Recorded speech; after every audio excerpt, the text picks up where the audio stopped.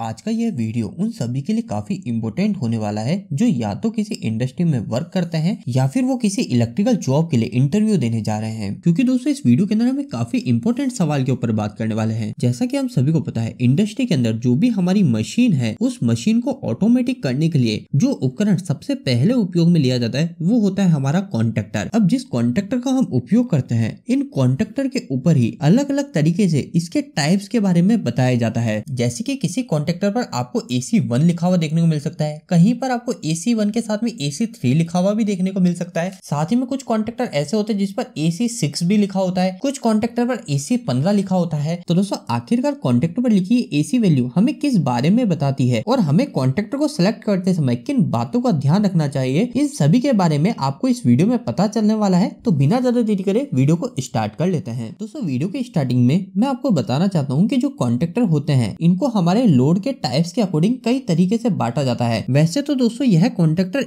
सी one से लेकर ए सी पंद्रह तक कई अलग अलग रेंज में आते हैं, लेकिन आपको जो मोस्टली इंडस्ट्री में देखने को मिलेगा, वो आपको A C one A C two A C three A C four के अलावा ए सी सिक्स से ए सी सिक्स बी और ए सी इलेवन इन सभी कॉन्ट्रेक्टर का फ्रिक्वेंटली उपयोग होता हुआ देखने को मिलेगा। तो इसलिए हमें इन सभी कॉन्ट्रेक्टर का क्या उपयोग है और कौन सा कहाँ लगाया जाता है, वो पता होना चाहिए। दोस्तों, सबसे पहले मैं आपको आसान शब्दों में यह समझाने की कोशिश करता हूँ की कॉन्ट्रेक्टर पर लिखी है एसी वैल्यू हमें किस बारे में बताती है? तो दोस्तों, जैसा कि आप सभी को पता भी है कि हमारे जो इलेक्ट्रिकल के लोड होते हैं, ये कई अलग अलग टाइप्स के होते हैं। जैसे अगर मैं आपको उदाहरण से बताऊँ तो हमारे पास में कैपेसिटर भी एक लोड है, जिसे हम कैपेसिटिव लोड बोलते हैं। इसके अलावा हमारे पास में मोटर भी होती है। अब जो मोटर होती है मोटर भी अलग अलग टाइप की होती है, जैसे स्क्वायर गेज मोटर हो गई, इसके अलावा स्लिपरिंग मोटर हो गई। तो अब यह जो दो अलग अलग मोटर है, इन दोनों मोटर के लिए अलग अलग टाइप के कॉन्ट्रेक्टर का हम इस्तेमाल करेंगे। इसके अलावा हमारे इलेक्ट्रिकल में रजिस्टिव लोड भी होते हैं, जैसे कि हमारे बल्ब हो गए हीटर हो गए तो इस तरीके के लोड के लिए हम अलग कॉन्ट्रेक्टर का उपयोग करते हैं। तो दोस्तों, आपको बस इतना पता होना चाहिए, कई डिफरेंट टाइप्स के लोड होते हैं, और जब वह सभी लोड चलते हैं तो उनका जो करंट लेने का वे होता है कि वह कितने करंट को लेंगे, किस तरीके से करंट लेंगे, उसकी करेक्टरिस्टिक्स बिल्कुल अलग अलग होती है। तो इसलिए इन सभी लोड के लिए अलग अलग टाइप के कॉन्ट्रेक्टर बनाए गए हैं। हम सबसे पहले बात करते हैं कि आखिरकार ए सी वन जो कॉन्ट्रेक्टर होता है, इसका उपयोग कौन से लोड के लिए किया जाता है? तो दोस्तों, जो भी आपको इस तरीके के एसी सी वन कॉन्ट्रेक्टर देखने को मिलते हैं।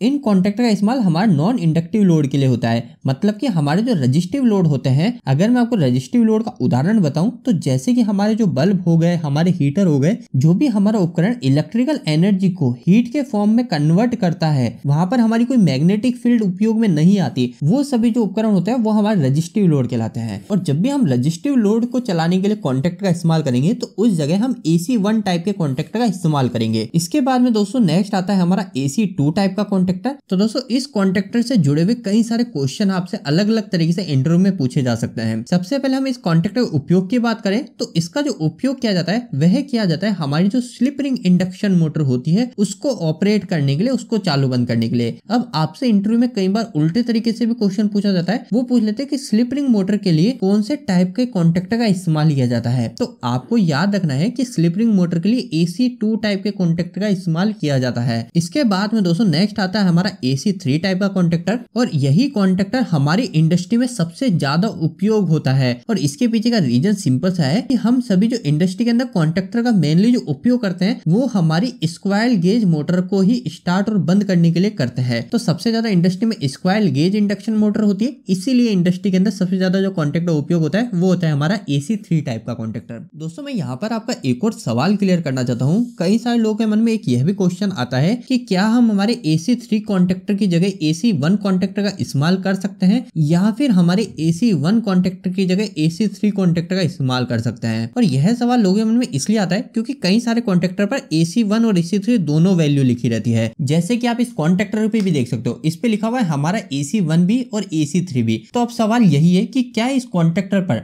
मैं एसी वन टाइप के लोड मतलब हमारे बल्ब हीटर जो रजिस्टिव लोड है, उनको चला सकता हूँ और साथ ही में क्या मेरी मोटर को भी चला सकता हूँ। तो दोस्तों, मैं आपको बताना चाहता हूँ, जो भी कॉन्ट्रेक्टर हमारे दो टाइप के लोड को चलाने के लिए बने होते हैं, उन सभी कॉन्ट्रेक्टर पर दोनों लोड के लिए अलग अलग एम्पियर रेटिंग लिखी होती है। जैसे कि अगर आप देखोगे, इस पर साफ़ लिखा हुआ है कि अगर आप इस पर एसी वन टाइप के लोड को चलाते हो मतलब हीटर रजिस्टिव लोड चलाते हो तो उस केस में आप इस कॉन्ट्रेक्टर पर 45 फाइव एम्पियर तक के लोड को कनेक्ट करा सकते हो। लेकिन वही अगर आप इस पे एसी थ्री टाइप के लोड को चलाते कराते हो मतलब हमारी इंडक्टिव लोड, जैसे हमारी स्क्वायर गेज इंडक्शन मोटर, अगर आप उससे कनेक्ट कराते हो तो आप सिर्फ़ इस पे 25 एम्पियर तक के ही लोड को जोड़ सकते हो मतलब 11 किलोवाट तक की ही मोटर को जोड़ सकते हो। तो दोस्तों, उम्मीद है आपको इस सवाल का भी जवाब मिल गया होगा। आप जब भी एसी थ्री की जगह एसी वन कॉन्ट्रेक्टर को लगा रहे हो तो आप उस समय देख लीजिए कि यहाँ पर दूसरे लोड के लिए कितनी एम्पियर रेटिंग दी गई है। इसके अलावा दोस्तों, मैं आपको एक और बात बताना चाहता हूँ। कई बार हमारा जो कॉन्ट्रेक्टर होता है, इस कॉन्ट्रेक्टर के साइड में नहीं लिखा रहता कि इस पर एसी वन टाइप के लोड के लिए कितने एम्पियर में जोड़ सकता हूँ। तो उस केस पे हमारे इस कॉन्ट्रेक्टर के साथ में जो हमें बुकलेट मिलती है छोटी सी, उसके अंदर अगर आप देखोगे तो वहाँ पर आपको डिफरेंट टाइप्स के लोड के लिए एम्पियर रेटिंग दी जाती है। तो वहाँ से भी आप जाके चेक कर सकते हो। तो दोस्तों, अभी तक हमने AC one AC two AC three contractor की बात कर ली,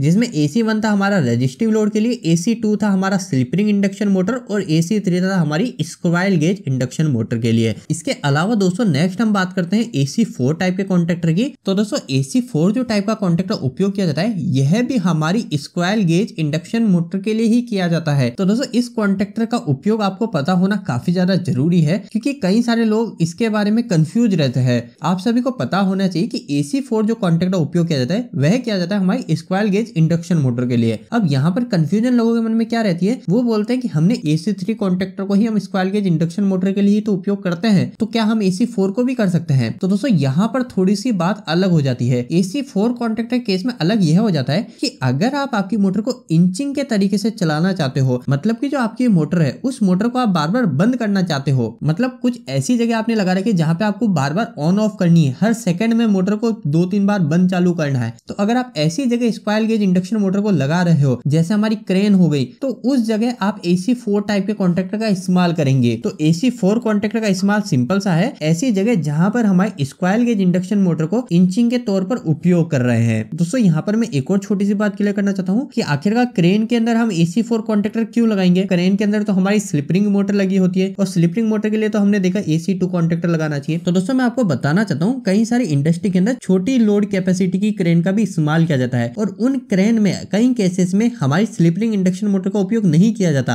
वहाँ पे हमारी स्क्वायर गेज इंडक्शन मोटर का ही उपयोग कर लिया जाता है। तो अगर आपके पास में squirrel cage induction motor crane में उपयोग हो रही है तो ही आप इंचिंग के लिए एसी फोर टाइप के कॉन्ट्रेक्टर का इस्तेमाल करोगे। वरना स्लिपरिंग मोटर के लिए तो एसी टू टाइप का ही कॉन्ट्रेक्टर इस्तेमाल किया जाता है। इन चारों कॉन्ट्रेक्टर के बाद में इंडस्ट्री में आप सबसे ज़्यादा जिस कॉन्ट्रेक्टर का उपयोग होता हुआ देखोगे, वो देखोगे दोस्तों एसी सिक्स बी यहाँ पर आपको ध्यान रखना है दोस्तों एसी सिक्स बी के अलावा एसी सिक्स ए टाइप का भी कॉन्ट्रेक्टर आता है। इसमें जो सिक्स ए टाइप का जो कॉन्ट्रेक्टर होता है, वो होता है हमारे ट्रांसफॉर्मर को स्विचिंग कराने के लिए। जो हमारे छोटी साइज़ के ट्रांसफॉर्मर होते हैं, उनको स्विचिंग कराने के लिए एसी सिक्स ए टाइप का कॉन्ट्रेक्ट होता है। लेकिन जो एसी सिक्स बी कॉन्ट्रेक्टर होता है, जो की अभी मेरे पास में अवेलेबल भी है, मैं आपको दिखा सकता हूँ, ये लिखा हुआ है एसी सिक्स बी तो यह जो कॉन्ट्रेक्टर होता है एसी सिक्स बी टाइप का, इसका इस्तेमाल किया जाता है हमारे पावर कैपेसिटर को ऑन ऑफ़ करने के लिए। अगर आप आपकी इंडस्ट्री में लगे कैपेसिटर पैनल में जाके देखोगे कि कैपेसिटर को ऑन ऑफ़ करने के लिए कौन से कॉन्ट्रेक्टर का इस्तेमाल किया जा रहा है तो उस कॉन्ट्रेक्टर का टाइप होगा हमारा ए सी सिक्स बी तो अब आपको यह भी पता चल गया कि कैपेसिटिव लोड है तो हमारा कॉन्ट्रेक्टर लगेगा ए सी सिक्स बी और आखिरी के अंदर अगर मैं आपको एक और कॉन्ट्रेक्टर के बारे में बताऊँ तो आप सभी कई बार देखोगे कुछ कॉन्ट्रेक्टर ऐसे होते हैं जिनके ऊपर ए सी इलेवन लिखा होता है। ये ए सी इलेवन टाइप के कॉन्ट्रेक्टर क्या है? तो दोस्तों, यह जो कॉन्ट्रेक्टर होता है, इनके ऊपर कोई भी पावर का टर्मिनल नहीं होता। मतलब कि इस कॉन्ट्रेक्टर को इस्तेमाल सिर्फ़ आप कंट्रोल की वायरिंग करने के लिए ही कर सकते हो। मतलब इस टाइप के कॉन्ट्रेक्टर के जो टर्मिनल होते हैं, इनमें आप ज़्यादा करंट को फ्लो नहीं करा सकते। क्योंकि यह जो कॉन्ट्रेक्टर होते हैं, यह सिर्फ़ कंट्रोल के उपयोग के लिए बने होते हैं। आपने कई बार सुना है, हमारे कॉन्ट्रेक्टर दो टाइप के होते हैं। एक होता है पावर कॉन्ट्रेक्टर एक होता है हमारा कंट्रोल का कॉन्ट्रेक्टर तो जो कंट्रोल का कॉन्ट्रेक्टर होता है, वो होता है हमारा एसी इलेवन टाइप का। तो दोस्तों, यही सारी कुछ इंपॉर्टेंट बातें थी जो आपको कैपेसिटर के बारे में पता होनी चाहिए। मैंने आपको कैपेसिटर के टाइप्स के साथ साथ और भी कुछ ज़रूरी जो बातें इनसे जुड़ी हुई होती है, वह बताने की कोशिश करी। उम्मीद करता हूँ आज का ये वीडियो आपको काफ़ी पसंद आया होगा। आपको ये वीडियो कैसा लगा प्लीज़ एक लाइक और एक प्यारा सा कमेंट करके ज़रूर बताएगा। अगर आपका अभी भी कोई सवाल इस वीडियो के प्रति इलेक्ट्रिकल जुड़ा रह गया तो आप मुझे नीचे कमेंट बॉक्स में कमेंट करके पूछ सकते हैं। इलेक्ट्रिकल की वीडियो अगर आप नहीं पसंद करते हैं, आज हमारे चैनल को सब्सक्राइब कर लीजिए। आज के लिए इतना ही, धन्यवाद।